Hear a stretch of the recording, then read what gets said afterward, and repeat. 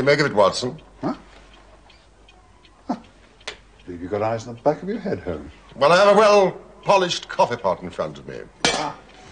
Mrs. Hudson said it was left last night while we were out. What do you make of it? Ah. Well, his name, at least, we know. I think uh, Dr. Mortimer is a successful, elderly medical man. Well esteemed, since those who know him gave him this mark of their appreciation. Yeah. I think he's a country practitioner, does a good deal of visiting on foot. Friends of CCH. Hmm. I should guess that to be the local hunt. Oh, bravo. Bravo, Watson. You know, I am bound to say you habitually underrate your abilities. Hmm. It may be that you are not yourself luminous, but you are a conductor of light. Some people, without possessing genius, have a remarkable power for stimulating it. I, I confess that, my dear fellow, I am very much in your debt. Thank you. But I am afraid that most of your conclusions were erroneous. H. Surely, hospital. CC suggests Charing Cross. I mean, if so, I would postulate a young man, under 30, amiable, absent minded, unambitious. And the possessor of a dog. May I see the stick? What? Oh. Thank you.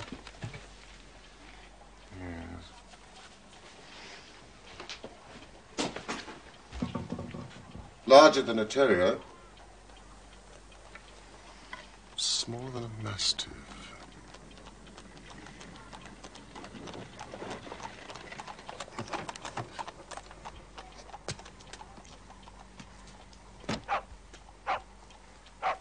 Hmm.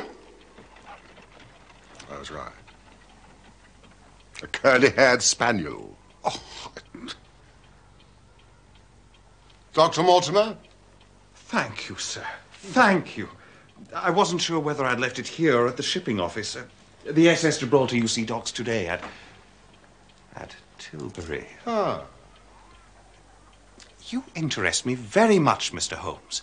I'd hardly expected so dolichocephalic a skull, or such well marked supraorbital development. Would you have any objection to my running my finger along your parietal fissure? Please, Dr. Mortimer. A cast of your skull, sir, until the original becomes available. it is not my intention to be fulsome, but I confess I covet your skull. Behave and sit down, Dr. Mortimer.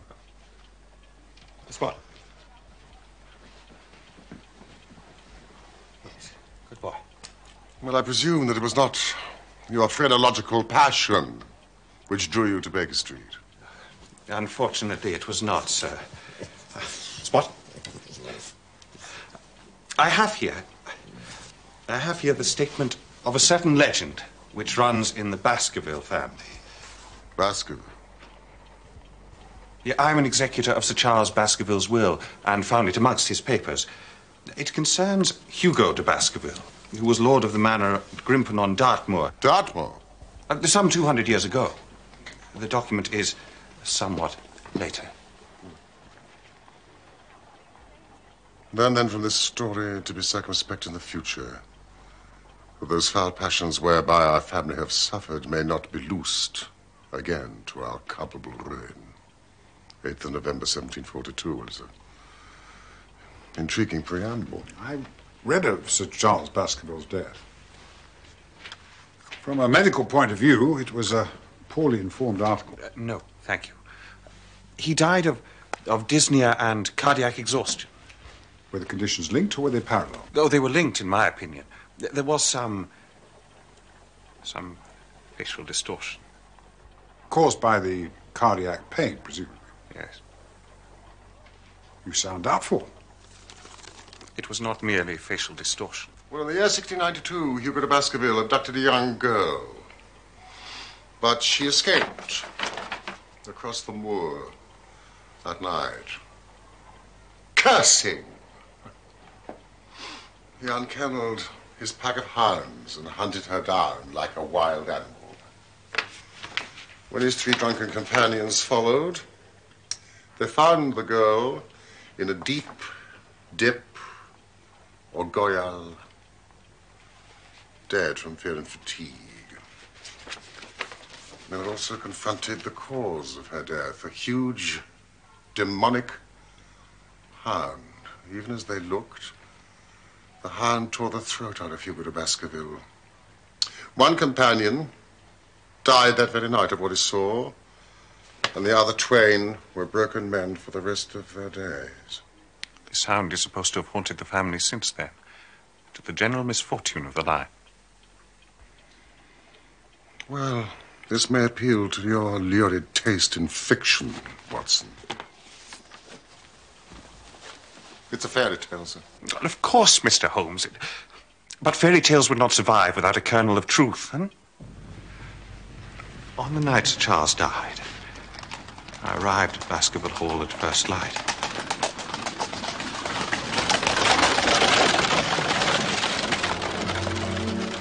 I shall tell you what I found. No more or less. Wait, please, sir. I had been concerned about him for some time. He had become obsessed with the legend of the hound. He's by the summer house. He believed he had heard the hound itself upon the moors. He even believed he had seen it. At the time, I took such morbid fancies to be part and parcel of Sir Charles's pathological condition. And now? I no longer believe that to be the case. There, sir. We, we didn't like to move him, sir. Once we knew. Yes. Yes, quite, Barrymore. A sad occasion, Mrs. Barrymore. An unhappy vigil for you. He was our hope, Doctor. Hope of the country hereabouts. He brought the world to us. He was our hope.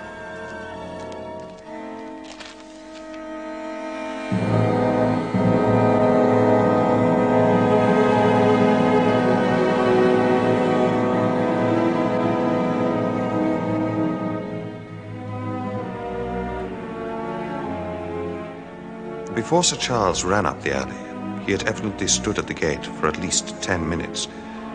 How do you know that?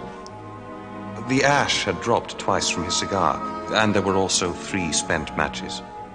Impress me, Dr. Mortimer. Was there anything else? Yes. Footprints? A man or a woman's? Mr. Holmes. They were the footprints of a gigantic hound. Several people have seen a creature upon the moor, a, a huge creature, ghastly, spectral. I've cross examined two of them, hard headed countrymen both, and their stories tally. I want you to advise me what I should do with Sir Henry Baskerville. Henry Baskerville has spent his life in America. He has come over on the SS Gibraltar. We'll send them direct to Baskerville. Very good. It's been a pleasure having you aboard, Sir Henry. Sir Henry. I still haven't gotten used to that title. Is there any other claimant upon Sir Charles's estate? None. His youngest brother, Roger, died in Central America of yellow fever some 30 years ago. Northumberland Hotel, Northumberland Avenue. Sir Henry is the last of the Baskervilles.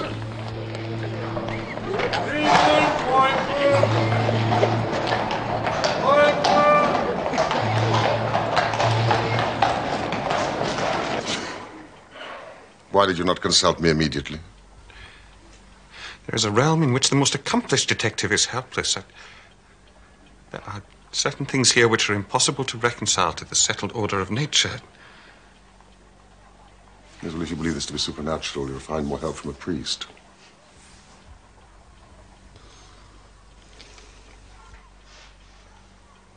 No, no, no, no, no, no.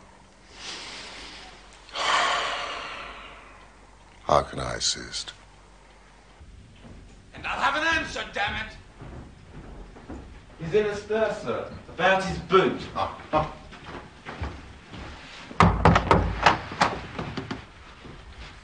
By thunder, if that fellow can't find my old black boot. Surely it was a, a new brown boot. No. Last night they took one of the brown ones. Today they've sneaked one of the black. I'm sorry, Mortimer. I'm sorry to trouble you with this nonsense, but this is a first-class hotel, damn it. Oh. Hello. Mr. Sherlock Holmes at your service. I think it is worth troubling about, as a matter of fact. You do? Why? Because it's inexplicable. Good. That's good.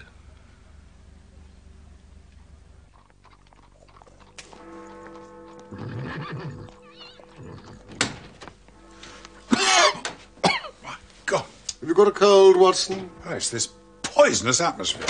This is a bit thick, I suppose. Thick. It's intolerable. You've been at your club all day. How do you know that? Where do you think I'd be? Oh, here, clearly. Clearly.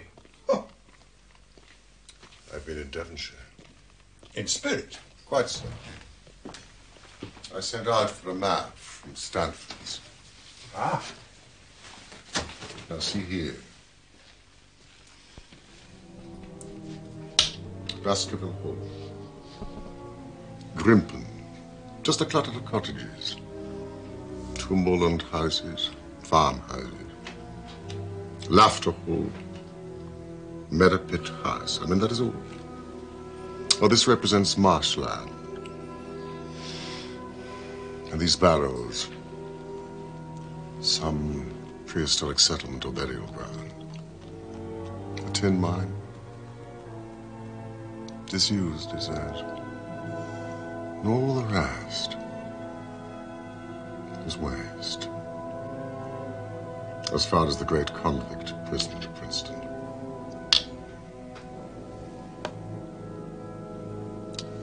It is a worthy setting the devil did decide to dabble in the affairs of man.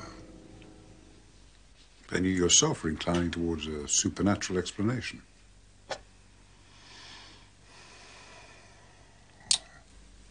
You'd better send word to Dr. Mortimer that we breakfast with him tomorrow. It arrived by post this morning.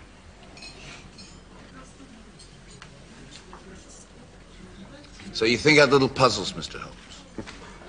This one wants more thinking than I'm able to give it. Very suggestion? Yes. A joke is like it's not. So, Mr. Henry, has anything interesting happened to you since you've been in London? No, I don't think so. Have you been followed? What? I seem to have walked right into a dime novel. Why should anyone follow me? That letter was delivered to the hotel. You are being followed, Sir. If you value your life or your reason, keep away from the moor. Now, the issue I suggest is whether it constitutes a friendly or an unfriendly warning. Now, That is surely impossible to determine. Now, there are various features which may help us. The envelope, for example, if somewhat crumpled, is presentable. Its contents, mostly, are not. The letter has been torn neatly enough along a fold.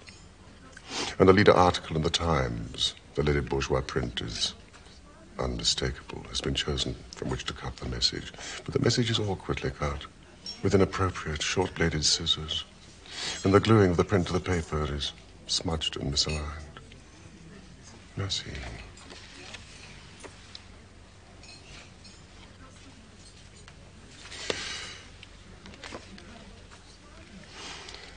Only half a sheet of paper, and yet the watermark is clear.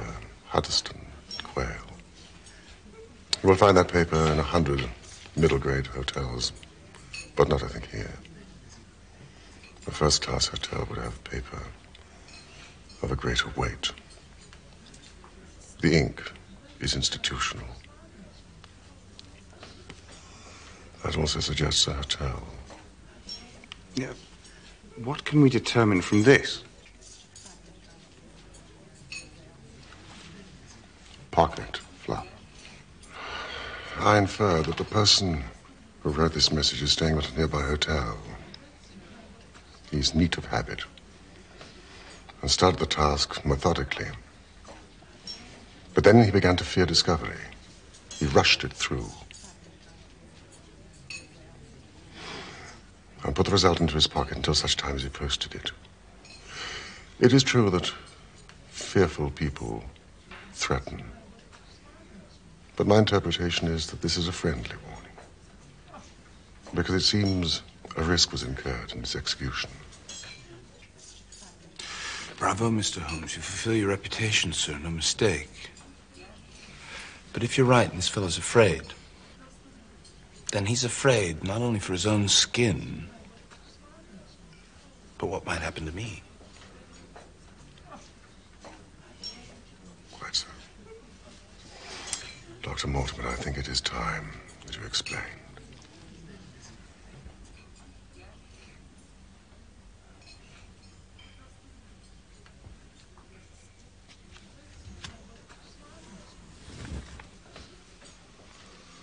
Well, now you know the facts, Sir Henry.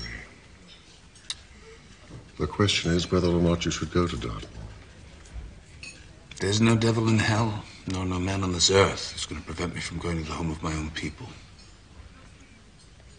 Then we'll see how we can mitigate the danger. You really believe there's danger? I think that if there is, then it is considerable. You certainly cannot go alone. Dr. Mortimer returns with me. He has his practice, and he lives many miles distant. You'll come yourself? I have to stay in London, blackmail case. I recommend my friend Watson.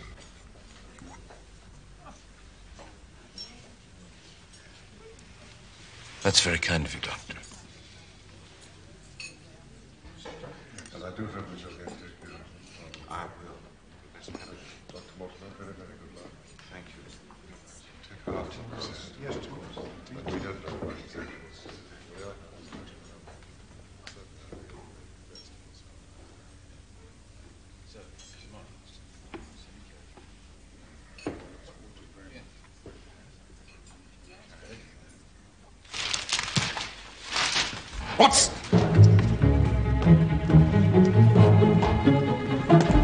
way!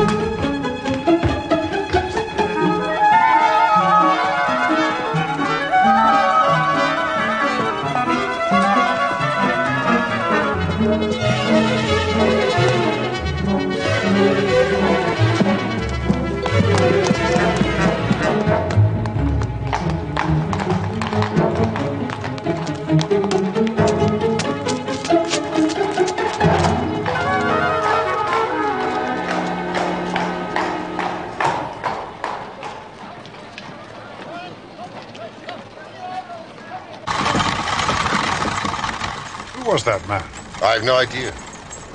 Well, how did you know someone had been following Baskerville? How else did they know so immediately where he was staying?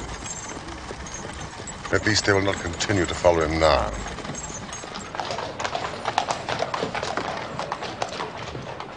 When a crisis comes, Watson, and it will, report to me.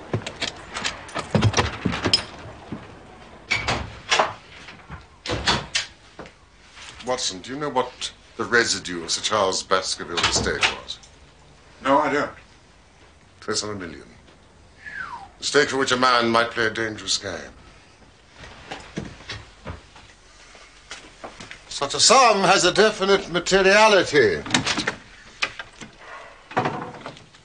And yet, to all things in heaven and earth, We are men of science, Holmes.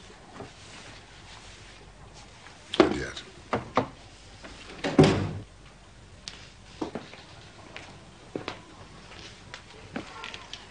It's an ugly, dangerous business, Watson.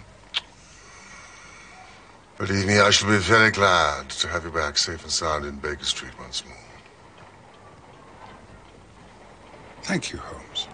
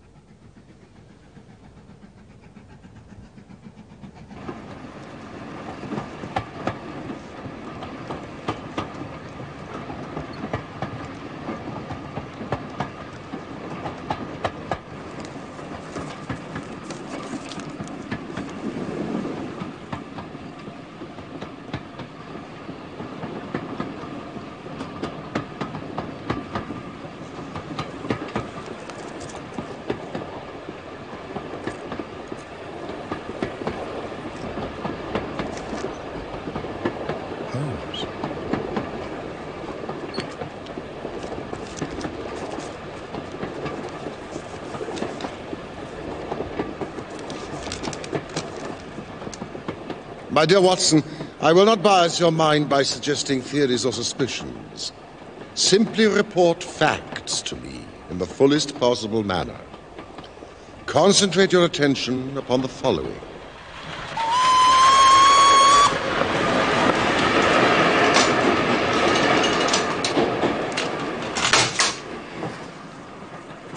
Above all, avoid the moor, when, as the old parchment quaintly put it, the powers of evil are exalted.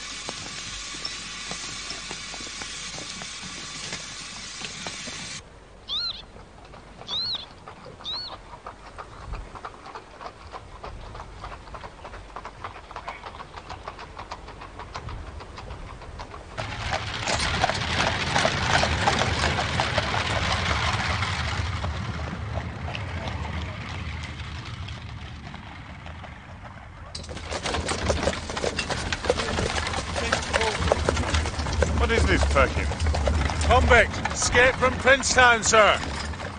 Out three days now. Been watching all over. They ain't seen no sign of him. Farmers don't like it. Who is he? Selden, the Notting Hill murderer. Folk are locking their doors, I can tell you. What'd the man do? He murdered a whole family. With such savagery, they deemed him insane.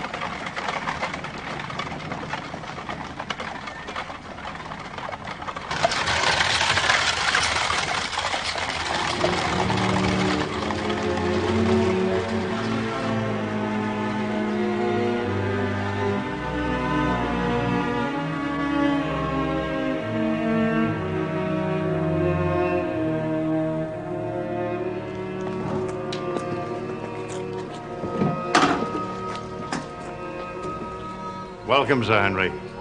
Welcome to Baskerville Hall. Thank you. It's Barrymore, yes? At your service, sir. Mrs. Barrymore? Madam?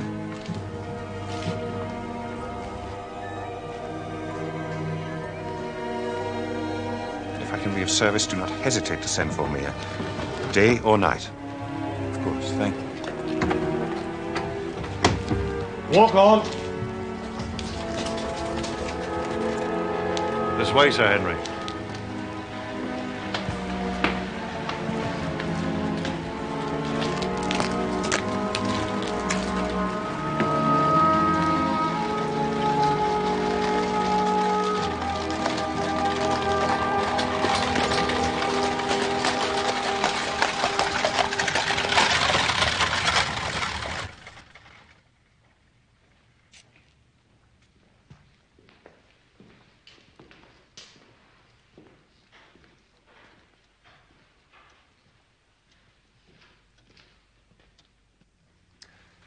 500 years of us.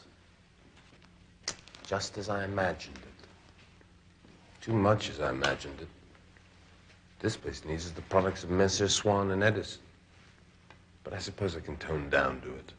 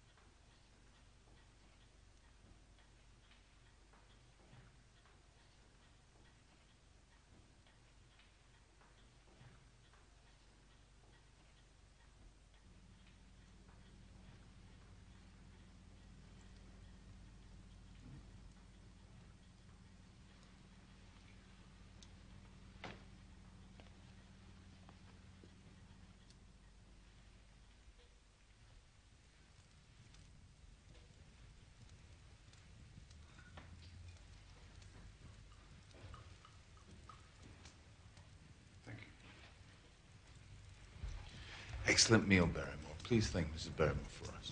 Thank you, sir. Should be pleased you enjoyed it. Well, Dr. Watson, shall we?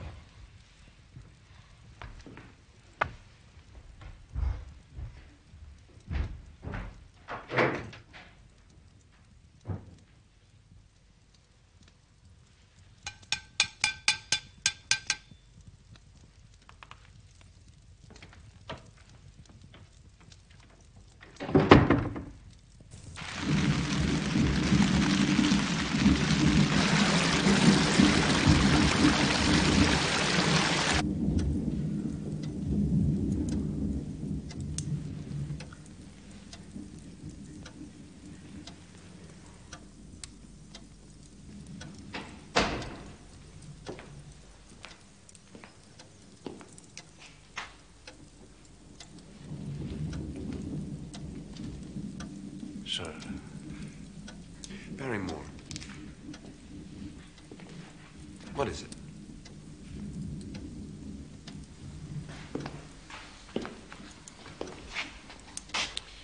Sir, uh, my wife and I will be happy to stay with you until you've settled in and made your arrangements. But your family's been with us for generations. Sorry to start my life here, breaking an old family connection. Thank you, sir. My wife and I were much attached to Sir Charles and, and his death. We feel that nothing can be. We feel. We feel we shall never be easy here at the Hall, sir.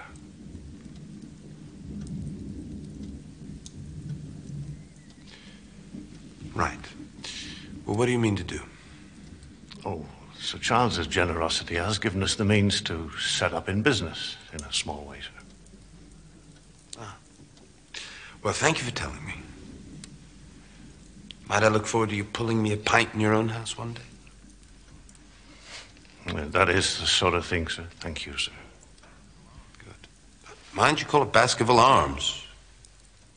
Yes, sir. Thank you, sir.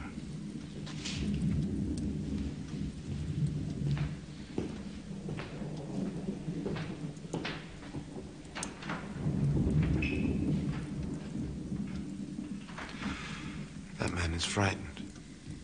Yes.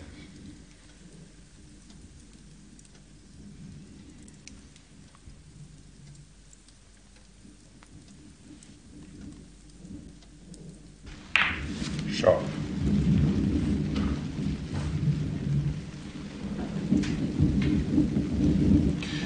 Turning into a rough night. Walk over to the post office at Grimpen in the morning. Ah. I'm sorry, but Holmes asked me not to let you leave the house without. Doctor, this shall take care of any dog that I may meet in your absence. even armed. All right. Tomorrow morning she'll find me at home. I'm safe at home, am I? Well, That's what Holmes believes.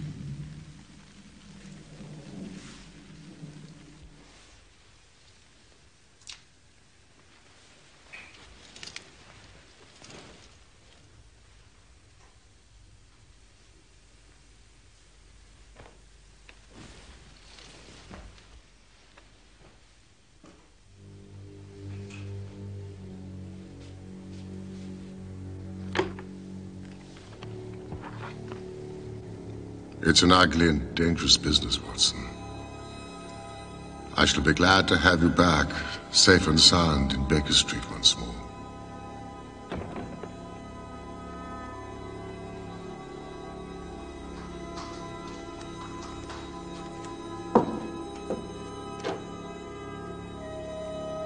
It's a realm in which the most accomplished detective is helpless. There are things here which are impossible to reconcile to the settled order of nature.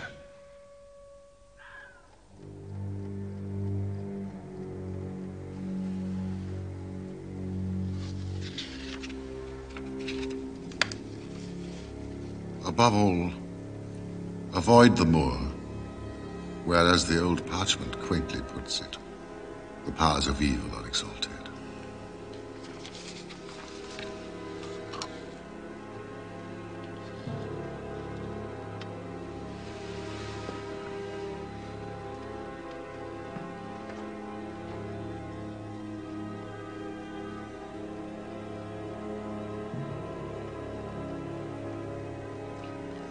Do you know what the residue of Sir Charles Baskerville's estate was? Close on a million. Such a sum has a distinctive materiality about it.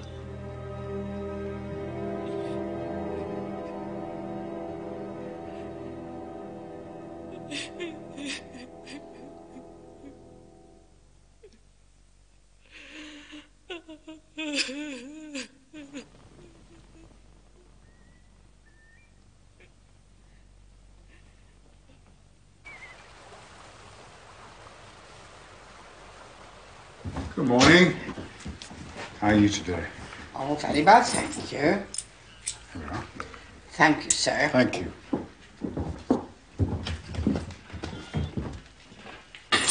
Goodbye. Goodbye, sir.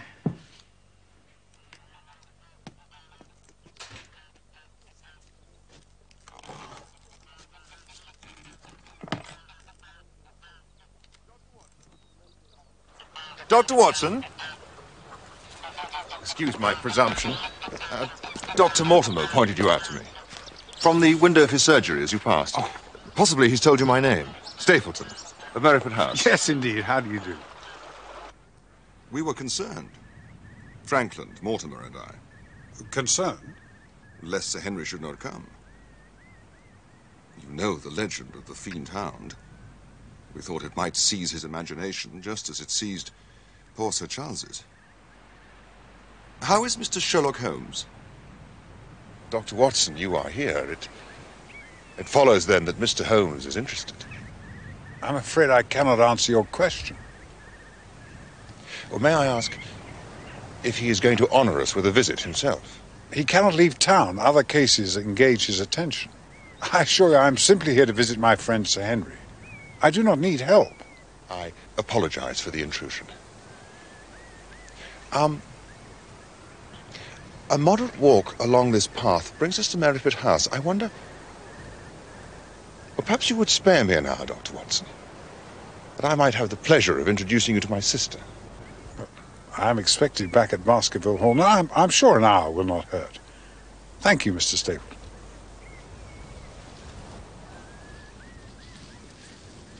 It was entomology, was it, that brought you to the moor? Indeed. Although I delight in it for its own sake, it is so vast, so so barren, so mysterious. Well, there, for instance. What do you make of that? Would be a rare place for a gallop. That is the great Grimpen Mire. False step there means death, to man or beast. Well, Only yesterday I saw one of the moor ponies wander into it. Never came out. I could see his head for quite some time, straining out of the bog hole. It sucked him down at last. Even in the dry season, it is a danger to cross it, but after these recent rains, it is an awful place. And yet, I can find my way to the very heart of it and return alive. But why should you wish to visit such a horrible place? You see the low hills there beyond it? They're really islands. Flora there is undisturbed, which means, of course, that rare species can breed there. And one of them, a subspecies, Lycaenidae, is unique to the place. In fact, I, uh, I'm credited with its discovery. Really?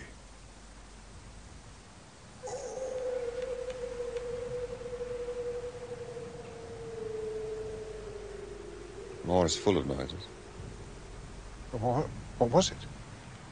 The peasants say it is the hound of the Baskervilles calling for its prey. You don't believe such nonsense, surely? Did you ever hear the boom of a bittern? No. The bird is said now to be confined to certain Norfolk fens, but why not here? I've heard its cry described as being something between a foghorn and a soul in torment. What do you think? Ah.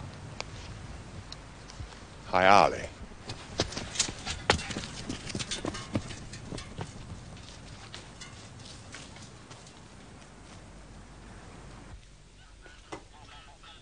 Go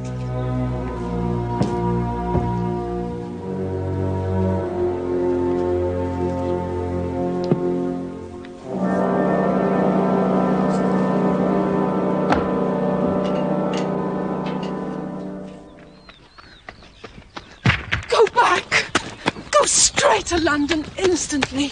For God's sake, do what I ask. Go back and never set foot on the moor again. Shh! My brother is coming. Miss Stapleton? Get away from this place at all costs! Do you see that orchid? Um, uh, yes, yes, I do. It's a pity you came so late. Our best orchids are nearly over. Jack! You have introduced yourselves, I see. Yes. I was telling Sir Henry it's a pity he has missed the beauties of the moor. Oh, Were I Sir Henry, Miss Stapleton, I, I'm sure I would not miss your beauty, but I'm afraid I am not. Uh, Sir Henry, that is. Merely his friend, my Dr. John Watson at your service. Uh, did you catch your butterfly? No. Harley flies like a witch, I'm afraid. Ah, there. Oh, yes. You must forgive and forget my foolish outburst, Dr. Watson. I cannot forget, Miss Stapleton. You must! Sir Henry is my friend. His welfare is a very close concern of mine. Tell me why you are so eager that he should return to London. You know the story of the hound. I do not believe such nonsense. But I do. If you have any influence with Sir Henry, take him away. I fear that unless you can give me more definite information than this, it would be impossible to get him to move. I cannot say anything definite, for I do not know anything definite. Miss Stapleton, I would ask you one more question. If you meant no more than this when you first spoke to me, why were you so eager that your brother should not overhear what you said? There is nothing to which he or anybody else could object. My brother is very anxious to have the hall inhabited. He thinks it's for the good of the poor folk upon the moor. He would be very angry if he knew I had said anything which might induce Sir Henry to go away.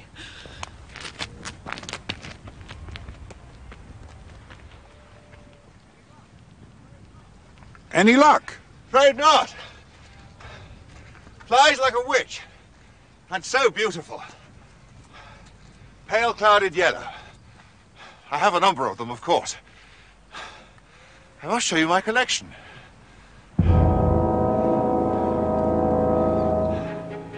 the English Lepidoptera are my field.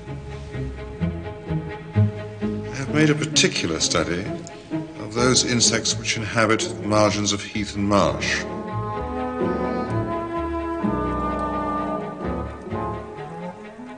A magnificent collection and the work of a serious scientist. Even the exotica.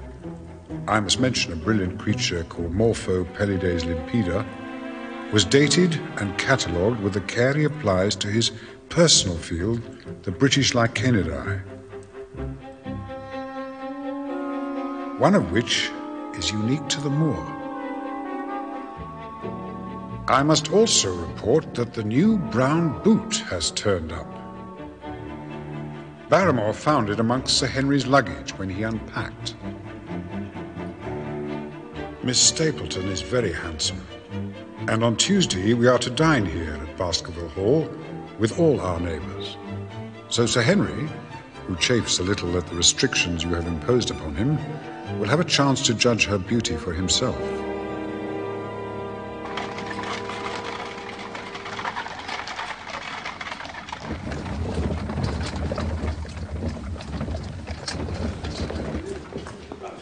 We are also to meet Dr. Mortimer's wife, and the old vicar of Grimpen, who is very shy, they say. And Mr. Frankland, an amateur astronomer of some note, who has a reputation of being litigious to a fault. A red letter day. Law is law, and I mean to teach 'em. I have established a right of way slap through the middle of old Middleton's Park. Case decided today. We must teach these magnates they cannot ride roughshod over the rights of commoners. Case decided today. Today, Mr. Frankland. Today, sir. Why do you ask?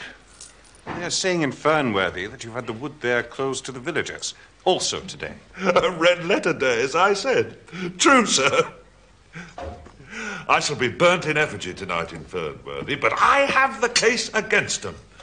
Infernal people seem to think there are no rights of property. They can swarm where they like with their picnic papers and bottles. But why should they complain? No one goes to the wood now. They have to cross the moor to get to it. No one will cross the moor. And why is that, sir? You've surely heard. The hound walks abroad upon the moor. The hound of the Baskervilles, Sir Henry. I've heard. Is it a phenomenon you believe in yourself, Mr. Frankland? Ask the vicar. Astronomic and forensic matters are my domain. Demonic matters are his. Is it a hound of hell, vicar? Or what? Uh, yes. Um, mm, an interesting question. Whatever it is that has been seen, it is undoubtedly something. Our farrier, Thomas Chubb, is not a man given to visions. And he saw something out there.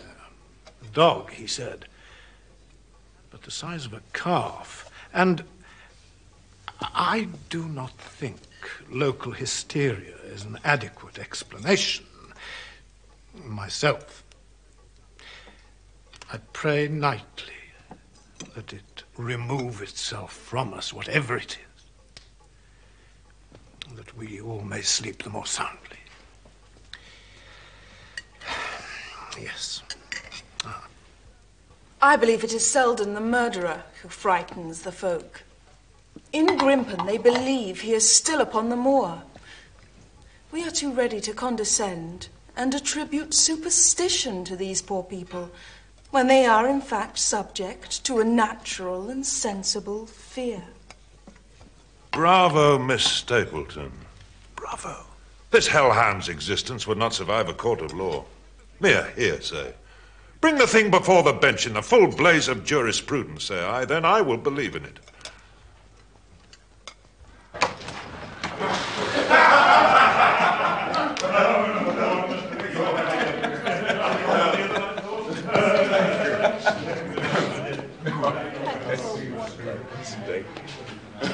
Thank you for a lovely evening. Good night, Doctor. Very nice to see you.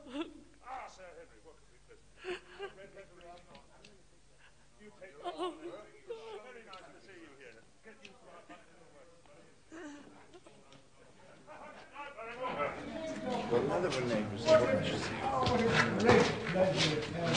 Sir Henry. I'm sure Yes. Splendid. Oh, thank oh, you. I, Thank you very much. I hope you will not keep you to that. Sir Henry! Yes? My dear fellow, it was wonderful. I must compliment you on that claret. Delicious, absolutely delightful. Certainly ah, now. Oh,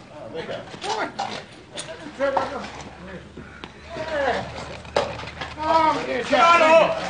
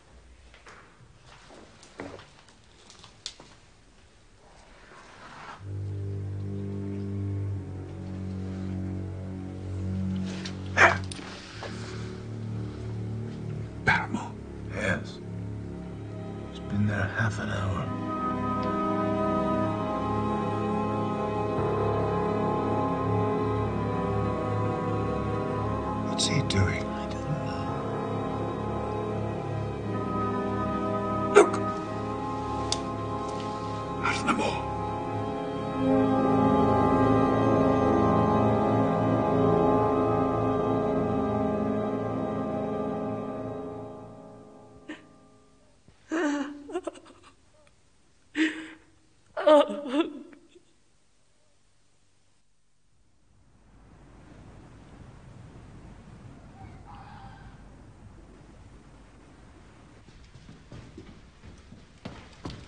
was adamant, Sir Henry. We must not go on moor in darkness. When the powers of evil are exalted, Doctor, bogies to frighten children, man. Come on. We have the chance of getting to the bottom of this business tonight.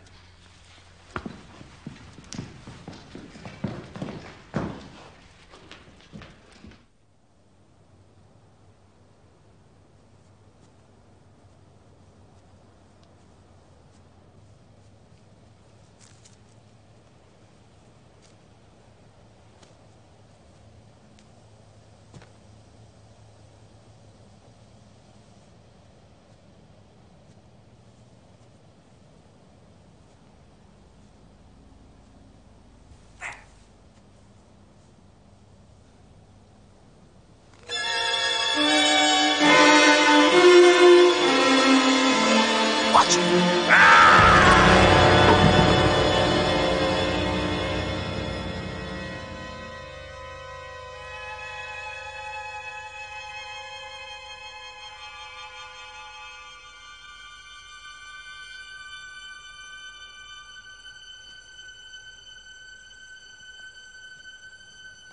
all right? I thought to shoot, but I couldn't.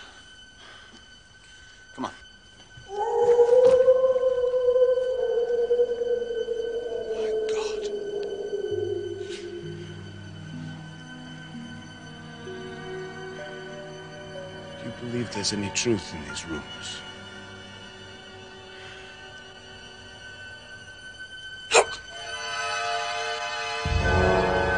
Listen, Barrymore? it's not Selden at any rate. We were followed in London and we're followed still. Come on. Let's get back to the house.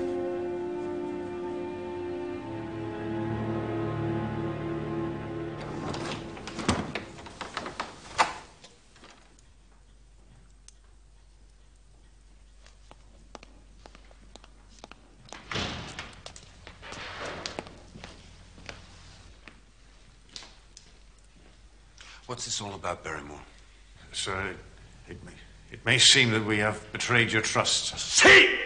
Damn it, Barrymore, you have! Sir, sir, it's no fault of his, sir. He didn't want it, it's me. It's me and mine. The poor creature came to me for help, sir.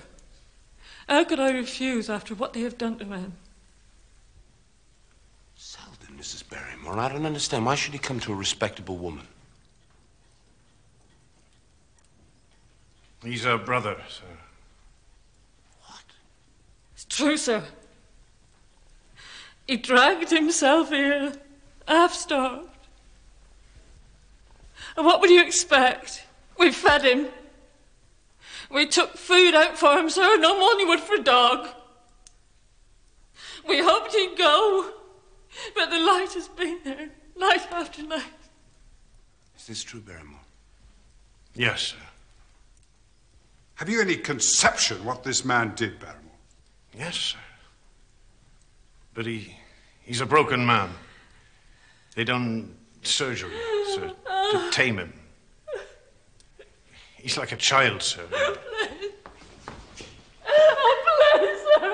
Please, please, sir, please. Mrs. Barrymore, please. Please get up. This is not dignified, please. By your leave, sir. Arrangements have been made. You'll be out of the country in a few days. I beg you, sir, say nothing to the police.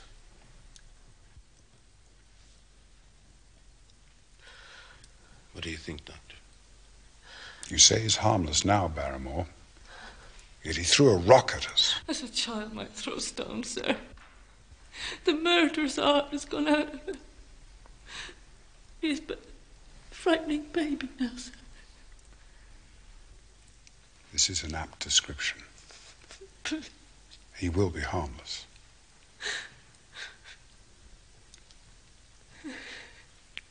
Very well. Please take your wife to your room. We'll say nothing about this matter.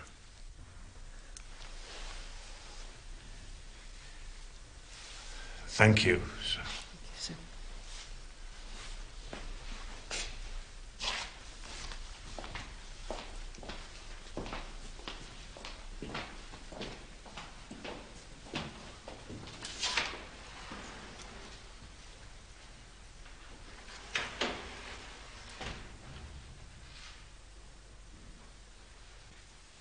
I thought we had a chance of getting to the bottom of this business. All we seem to have done is compound a felony.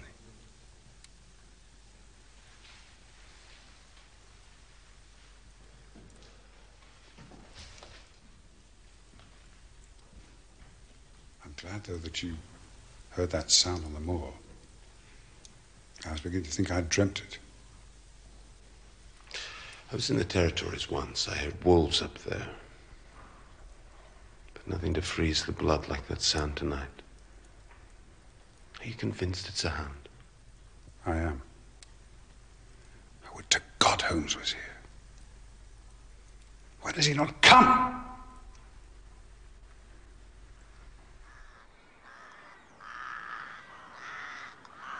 And yet, Holmes, when daylight and birdsong return, the black imaginings of the night evaporate.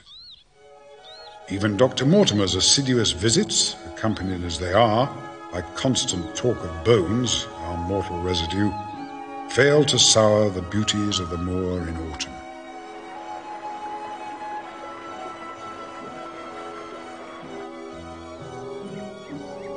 We are, however, still far from the heart of the mystery. The question which most persistently nags at me is who was the man on the tor? With his identity known, I feel we should have the key to this fatal riddle within our grasp. This is a rather nice piece of cloth. I picked this up in Baltimore, but I never wear it. Meanwhile, I have discovered a streak of amiable tender-heartedness in my host. Oh, this. So guilty did he feel at nearly shooting his servant's murderous brother-in-law that he has given Barrymore many of his excellent American clothes. Determined as he now is to play the role of English squire in dress as in anything else. Much too American. I'm turning over a new leaf. You take it. Thank you kindly, sir.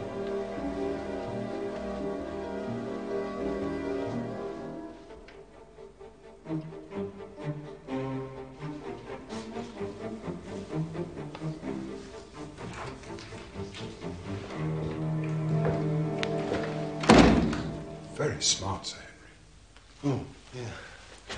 Well, I'm going to stroll over to Merripit House. I thought I'd invite Stapleton and his sister, rather, than I should say, Miss Stapleton and her brother to luncheon on Monday. Well, I know you won't want me to come with you there, but Holmes insisted that. Now, look here, my friend. Holmes could not have foreseen certain developments. You'd make a very civil gooseberry, no. I'm afraid I have to go alone.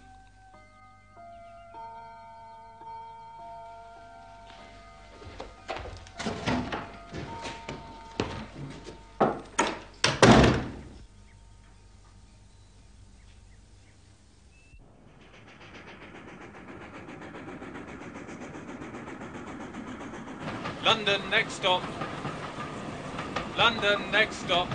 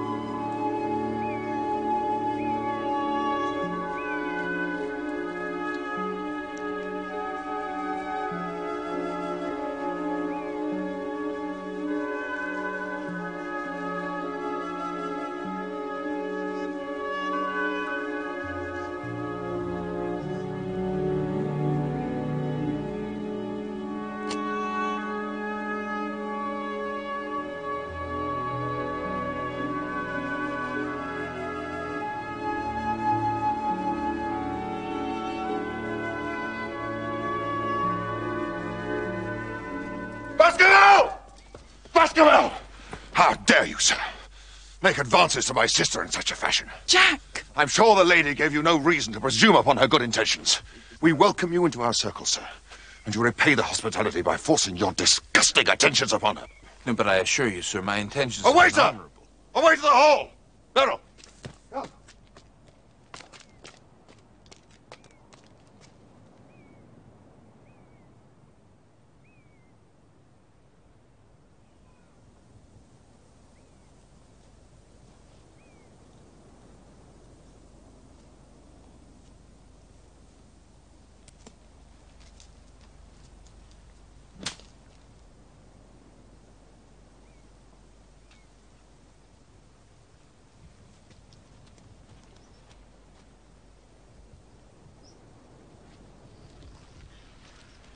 Hello, Watson.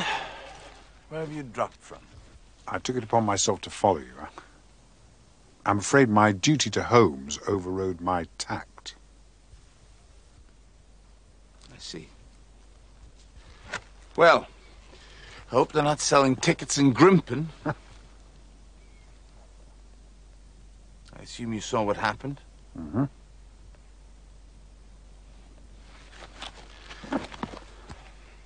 Did he ever strike you as a bit crazy, this brother of hers?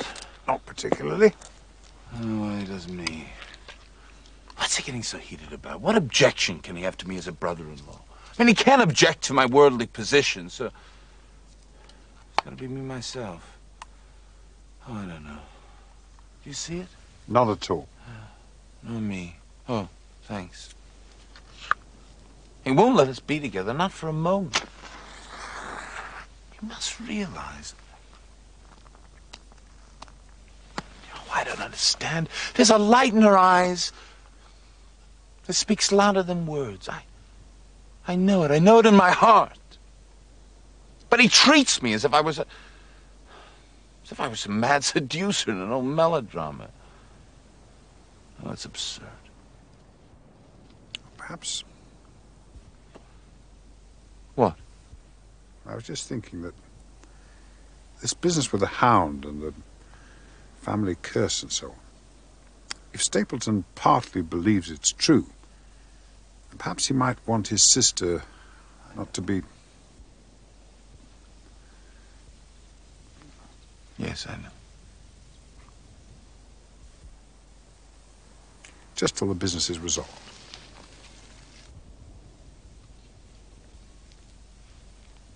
Yes, of course. Well, shall we walk home together?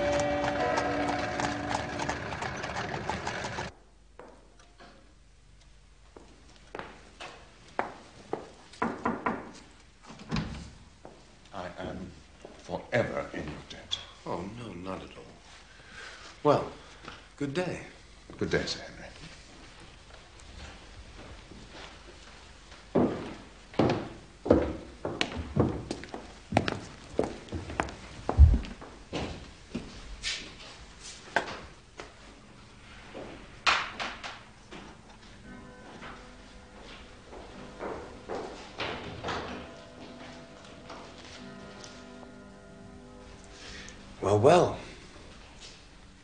What happened? Stapleton. I still think the fellow's crazy, but he's just given me the most complete apology a man's ever likely to receive in his life, and he's invited us to dinner tomorrow. Friday, indeed. Good. I look forward to it. Ah, the post at Grimpen. Just so.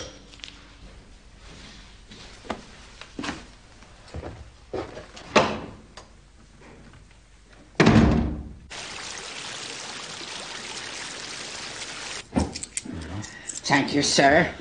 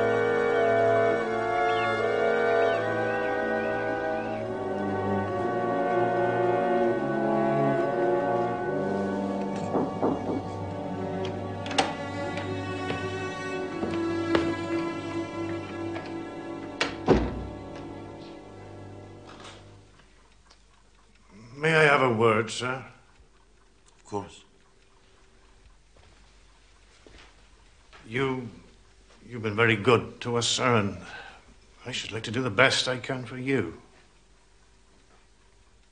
There's something I found out, sir. Yes? We found it after the inquest. And told a mortal soul didn't know how. About Sir Charles's death, sir.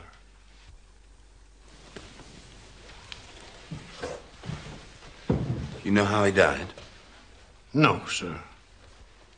Well, what then? I do know why he was at the gate at that hour. Why? To meet a woman, sir. A Woman? Are you sure? Oh, yes, sir. What was her name? I can only give you her initials, sir. Yes, it was something my wife found. She was cleaning out this very room, Sir Charles's study, sir. And in the grate there, she found this scrap of paper. Oh, 'twas all burnt, but well, it could still be read. From the shine in the writing, if you know what I mean, sir. Of course, I understand. Please go on. Well, she called to me and I wrote it down. Uh,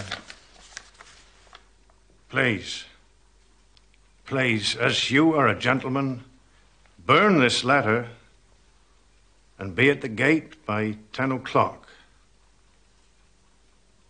Then the initials LL.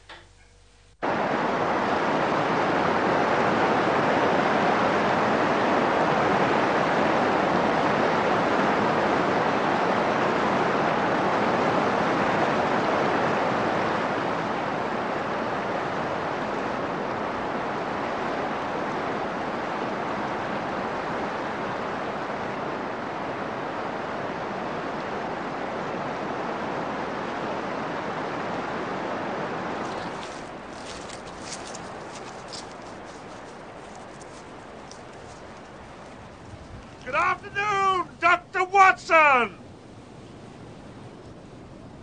Mr. Frankland? Come along up! I shall order you tea. Thank you. You're here to solve the Baskerville mystery, are you not? Well, I have a telescope. I see things on the moor. Surely you should know about them.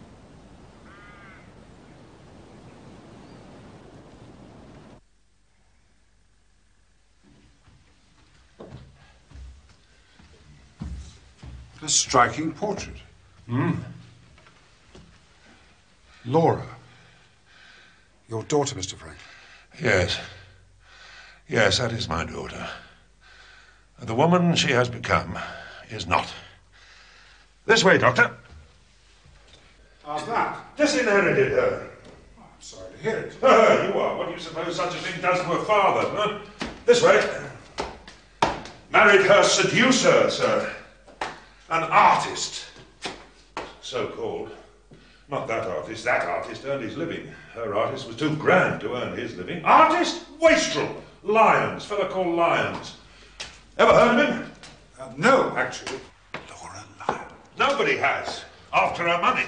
My money. I was burnt in effigy in Fernworthy last week. You predicted that, I remember. Exactly so, because I know the slackness of authority hereabouts. The case of Frankland v. Regina will bring the matter before the attention of the public. I told the police they would have occasion to regret their treatment of me, and already my words have come true. How so? I could tell them what they're dying to know. But you're not going to. Certainly not. So, a case of poaching. Poaching fiddlesticks. The convict, sir. Selden, the mad stabber. You don't mean to say you know where he is? Near enough. It has never occurred to the police that the way to catch the man was to find out where he got his food, and so trace it to him. Barrymore. His food is taken to him by a child. A child? Why not? I have observed the child for more than a week. It is in the nature of children to form perverse allegiances. But surely it's more likely to be the child of a moorland shepherd taking him his lunch. Flocks move. Quick! Dr. Watson, quick. Yes, I see him.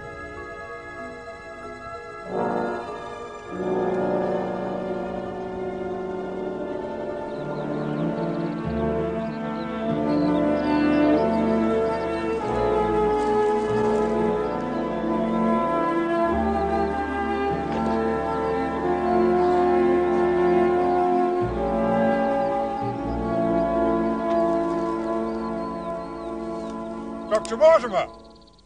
Dr. Watson, I have something marvelous to show you.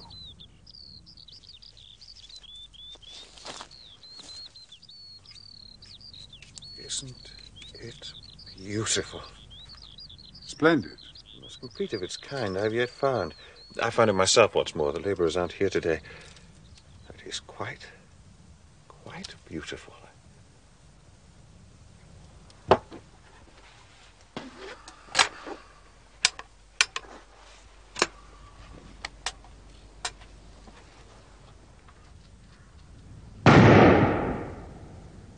Ah!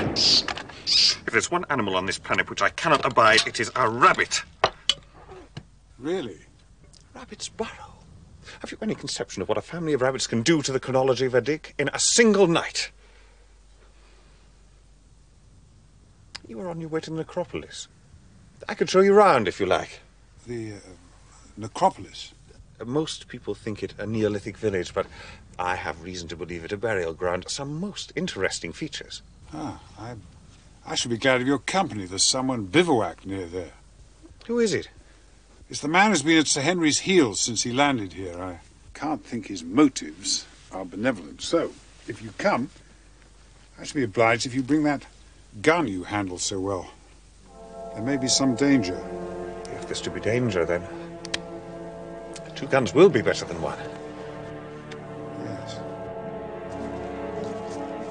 Do you know Laura Lyons? Old Frankland's daughter. Yes, she's a patient of mine. She lives in Coombe Tracey. He's cut her off, you know, without a penny. Do you know if she was acquainted with Sir Charles? It's possible. After her marriage went wrong, she was able to set up for herself in a small way. As a typist, Sir Charles may have made that possible. He was a man who fostered many good causes. She may have been one of them. What sort of a painter was Lyons? Oh, brilliant.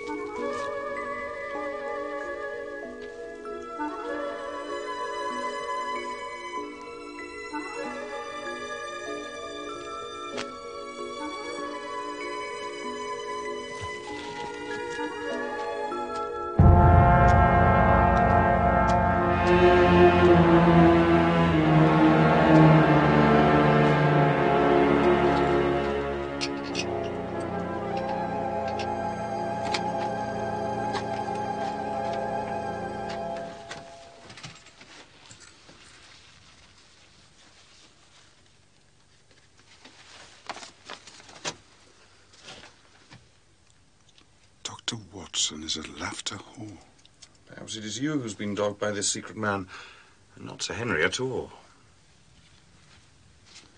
What do we do? I intend to wait.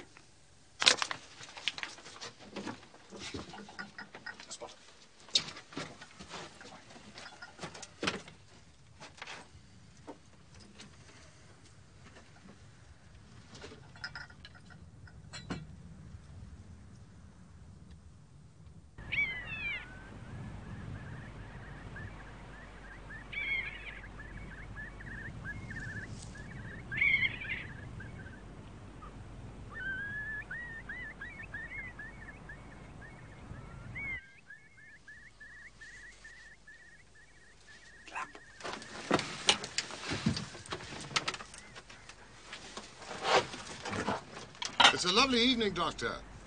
I really think you would be more comfortable outside than in. When I see a cigarette stub marked Bradley, Oxford Street, I know my friend Watson is in the neighborhood. Be careful with that gun. I thought you were in Baker Street, working out that case of blackmail. That is what I wished you to think.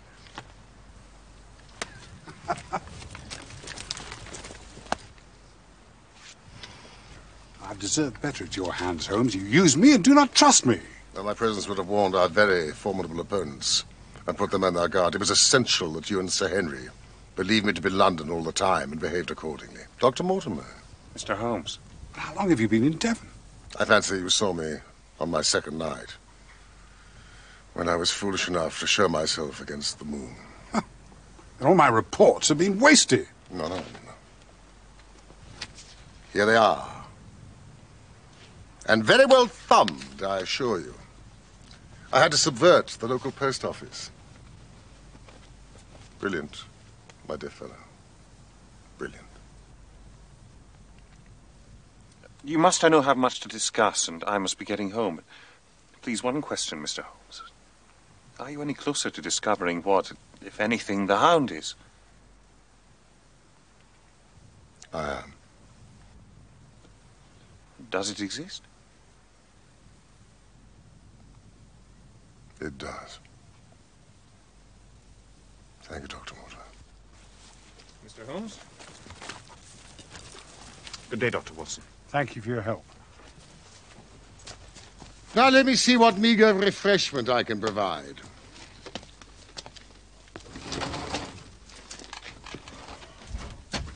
Cartwright, the little chap from the express office. I brought him down with me to look after my simple wants. A loaf of bread and a clean collar. I've discovered that there's a woman living in Coombe Tracey with the initials LL. Ah, yes, Frankland's daughter, Laura Lyons. Our researchers have been running along the same lines. Did you know that she's seeking a divorce from her husband? But she lacks the means to carry it through. It is a costly business. Do try my steel. Ah. Dr. Mortimer thought that Sir Charles might have been a discreet benefactor. Really? That's interesting. Please, Watson.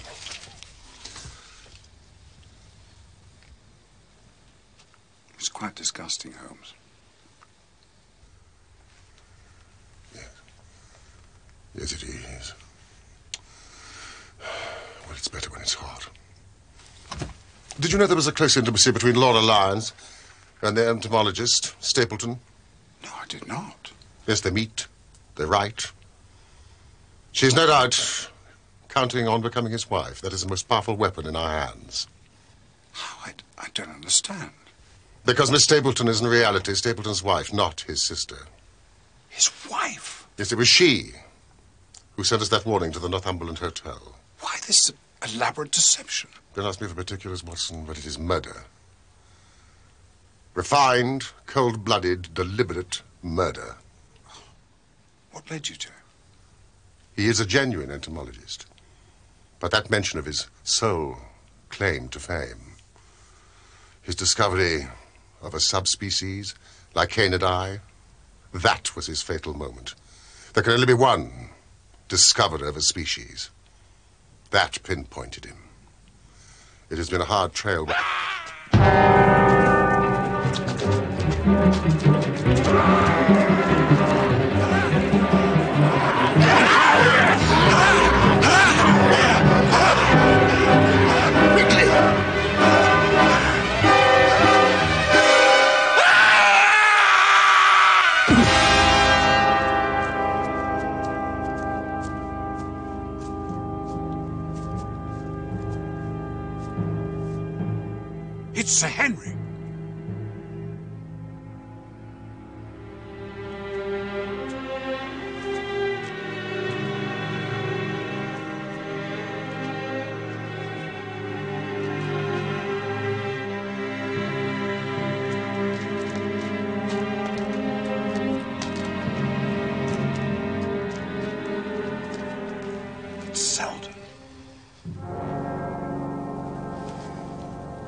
Henry's clothes were the poor devil's death.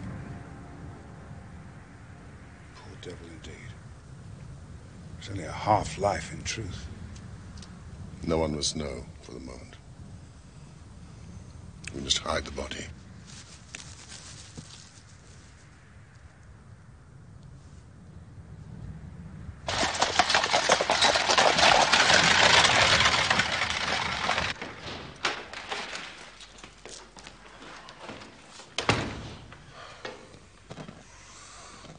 Sir Henry must know nothing of healing the hand. He'll have a better nerve for the ordeal he must undergo tomorrow. So, this is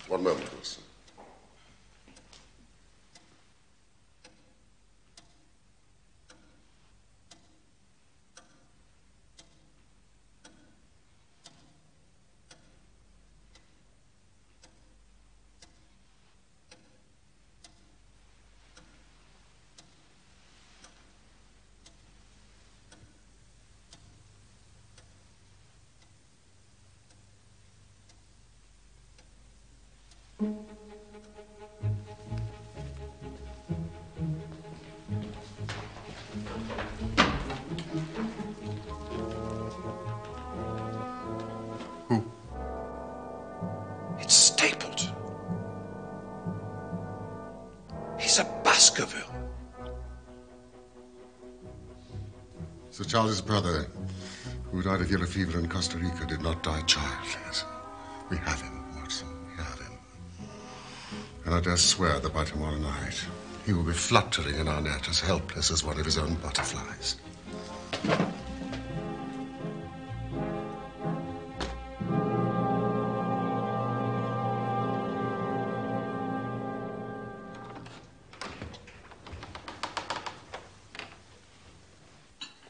I fear that Watson and I must go to London. London? I think we will be more useful there at this present juncture.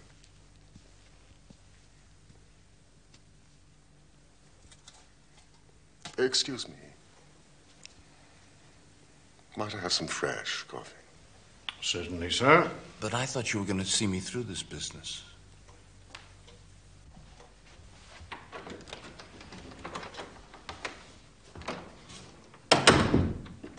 Trust me, my dear fellow. I do. Tell Stapleton that I would have been happy to come with you, but that urgent business required me to be in town. I, I don't understand. Should I not come with you to London? Why should I stay here alone? No, you must stay. And do exactly as I tell you. Of course I will. Drive to Merripit House. Send the trap back. And let it be known that you intend to walk home. Across the moor. At night. If I had not every confidence in your nerve and courage, I would not suggest it. It is essential that you do this. Then I will do just what you say. Take the path. Exactly on the path. From Merripit House to the Grimpen Road. It is your natural way home. And when do you intend to leave? Immediately after breakfast. Thank you very much. Sir.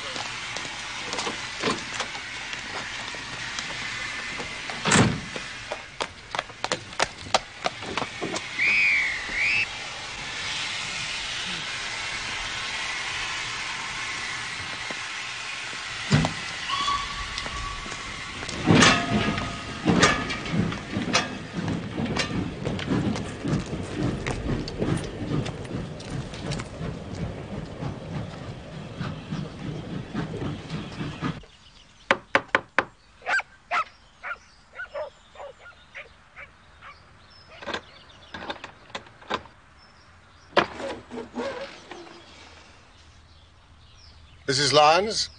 Yes? So, you admit that you asked Sir Charles to meet you at the gate at 10 o'clock But you say that you did not keep the appointment. I did not. You do realize that was the very hour of his death. Is that an accusation, sir? I'm only asking if you can forge a connection between the two events. There is no connection. Mrs. Lyons, we believe this to be a case of murder. And the evidence may implicate not only your friend, Mr. Stapleton, but his wife as well. His wife? Mrs. Lyons, the person who has passed for his sister is really his wife. His wife?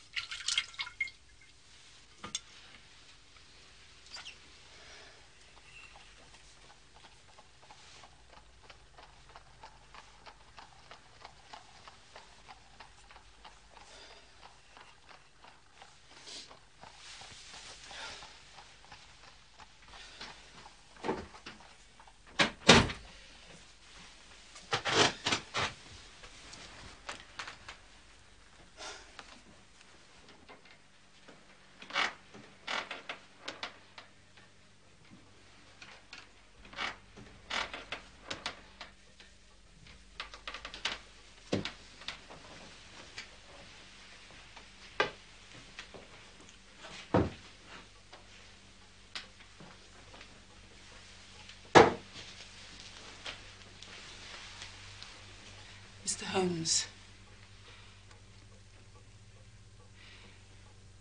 Mr. Stapleton offered me marriage on condition I could obtain a divorce from my husband.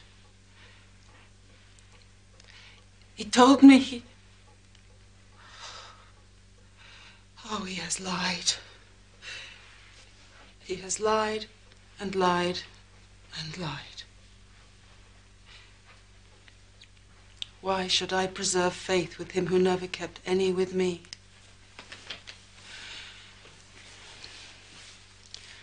Ask me what you will. There is nothing I shall hold back.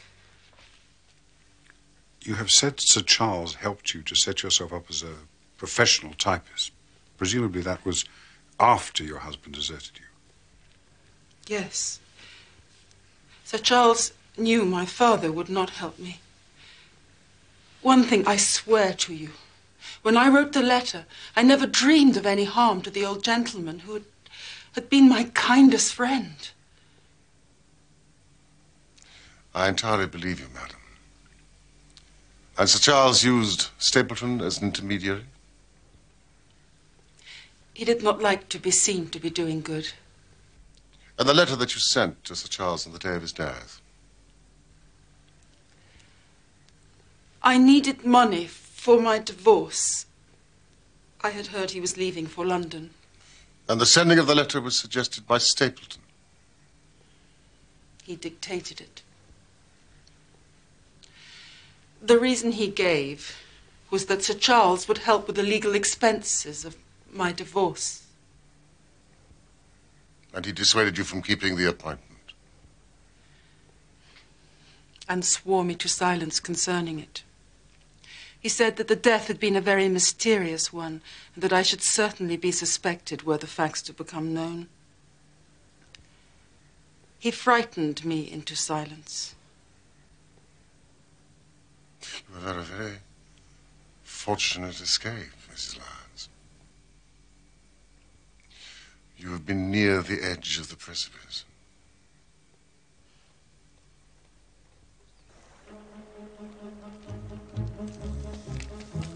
Students of criminology will remember the incidents in Grodno in Little Russia in the year 66. And of course, they are the Anderson murders in North Carolina. But this case possesses features which are entirely its own. Dr. Watson tells me that you handle a gun. I am fairly proficient. Well, it was you who first brought this case to our attention. It is only right that you be with us at the climax.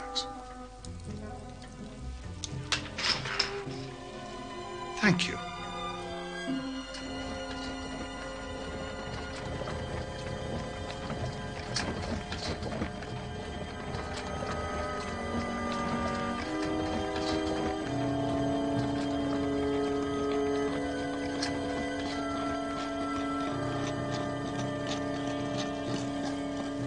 While Dr. Mortimer and I guard the path, you watch the house, Watson.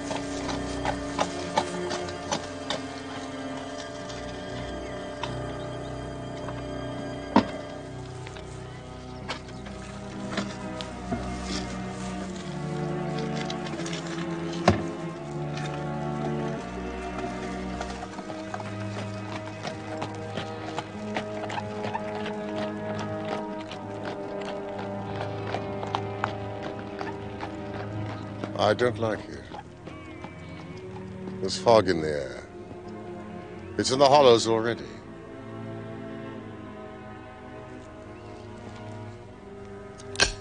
Be careful, Watson.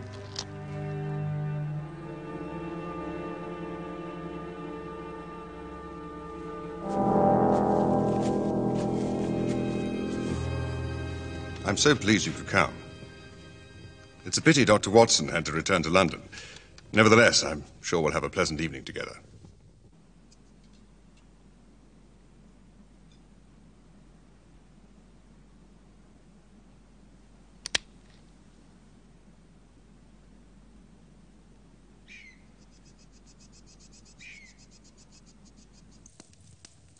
If you'd excuse me for a moment, Sir Henry. I shan't be long.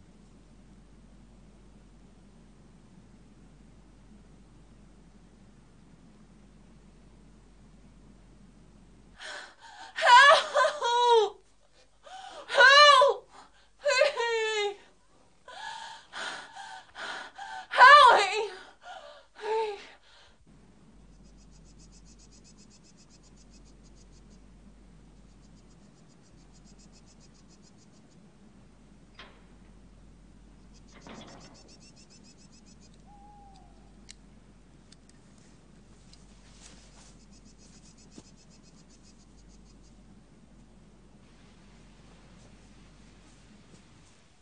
Sir Henry was still inside the house when I left. It's getting late. You say Beryl Stapleton was not there? No. I cannot think where she might be. And there were only two places laid for dinner. The fog is getting thicker all the time. Courage, Sir Henry. Brave it.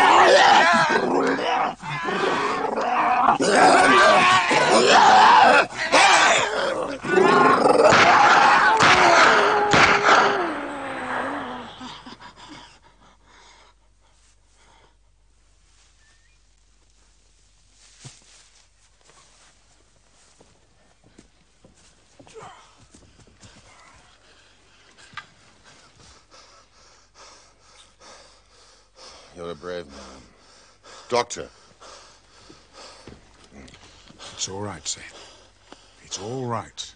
The hound got past us. Now, if you can manage it, we must get back to the house as soon as possible.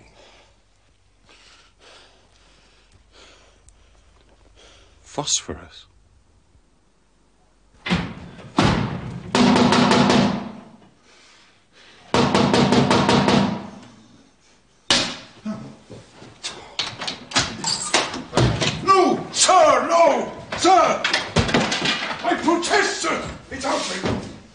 Not allowed! Watson!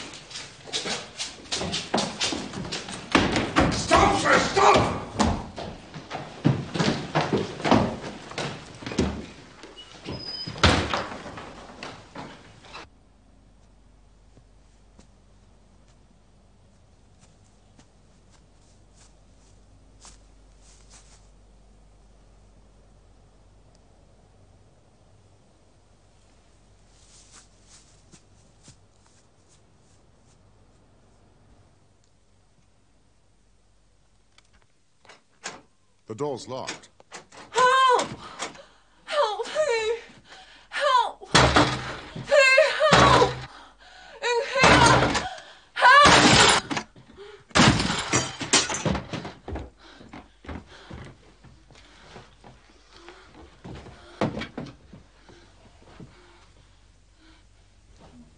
She's badly hurt.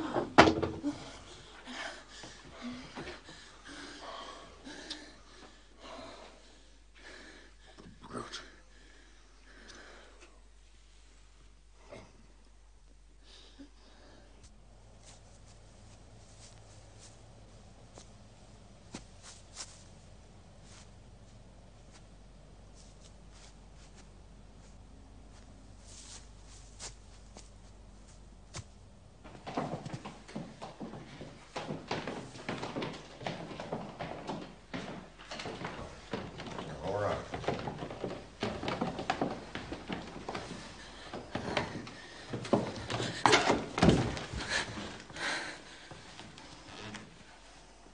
thought this man loved me. He loves nothing. Where is he? The police have. He escaped. He will go to his island in the mire.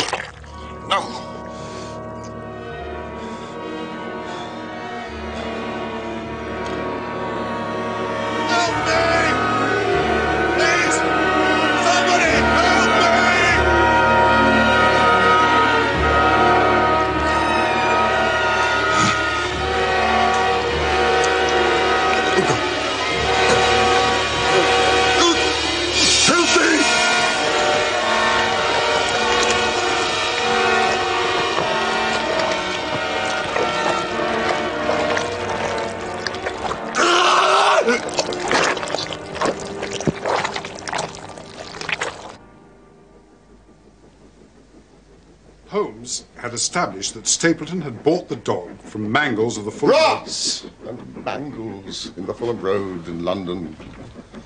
Ross and Mangles of the Fulham Road, London. Mm.